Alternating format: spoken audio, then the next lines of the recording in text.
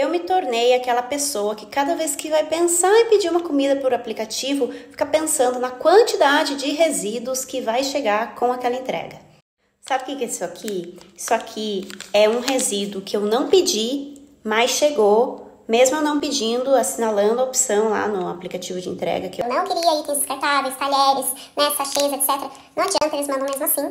E aí chegou, né, como se fosse algo bonitinho, porque é biodegradável e compostável, enfim. Mas, Isabela, eles estão sim tentando melhorar. Eles colocaram agora lá as opções. Ai, não preciso de talheres, não preciso de itens descartáveis, de sachê, etc.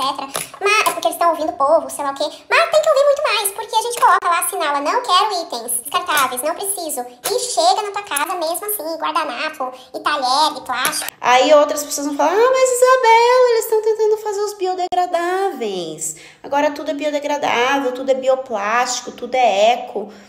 Gente, eu não quero aqui falar que eu sou contra esses produtos novos, biodegradáveis, compostáveis. Claro que não, eu sou super a favor e eu acho que a gente tem sim que ter a tecnologia, a ciência correndo atrás de, de novos materiais que a gente consiga lidar melhor. Mas eu quero trazer uma reflexão aqui se a gente realmente, se a população mundial realmente está preparada para isso e se ela sabe ser crítica também com isso. Porque na verdade, ok que isso aqui é compostável e biodegradável, mas eu não preciso disso. Eu não preciso que eles enviem isso, eu não preciso que eles estejam produzindo a quantidade que eles estão produzindo, né, para chegar aqui na minha casa e de um monte de casa que não precisava disso hoje. E aí também, por que, que a política do não preciso, ela não é maior do que a política de novos materiais e novas opções e novas coisas, sabe? E aí é, eu me pergunto também, por exemplo, isso aqui. Eu não usei porque eu tenho meus talheres aqui na minha casa. Ok, eu não usei, tô abrindo aqui isso para mostrar para vocês e já tá na minha casa mesmo sem eu querer. Isso aqui eu fiquei pensando assim, as pessoas podem achar bonito porque é uma qualidade muito boa, é muito boa mesmo. Então, muito melhor do que aqueles branquinhos que antes vinham, aqueles talheres de festinha de criança, sabe?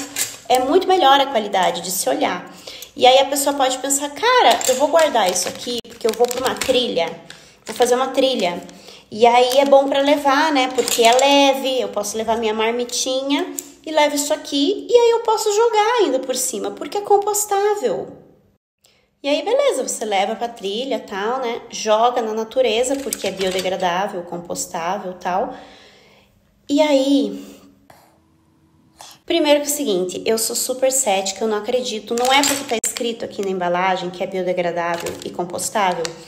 E primeiro que tem uma diferença entre essas duas coisas que as empresas e as embalagens também ignoram, mas não vou entrar nisso aqui hoje.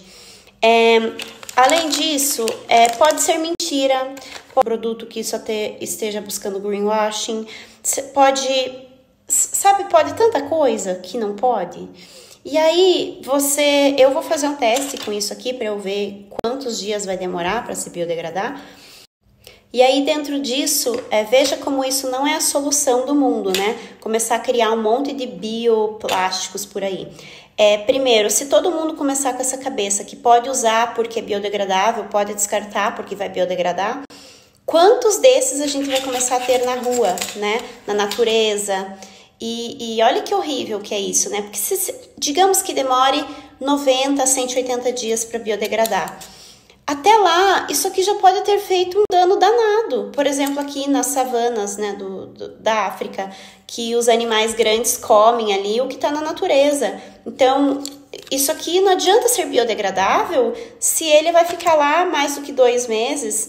Então, assim, não é tão legal assim, não é a salvação. Que às vezes a, a população mundial não está preparada para esses novos materiais também, assim como não estavam para os plásticos normais.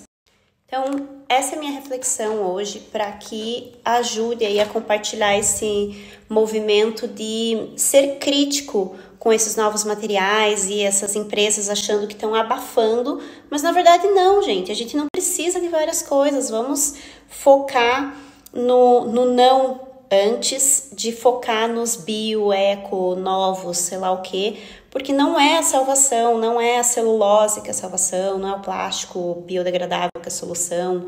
E a gente precisa sim melhorar a comunicação é, com essas instituições, com esses aplicativos, com esses restaurantes, para que eles entendam que não é assim que o negócio vai para frente, né? A gente não tava, a gente não sabia lidar com os plásticos e a gente também talvez não sabe lidar com os novos materiais que estão vindo.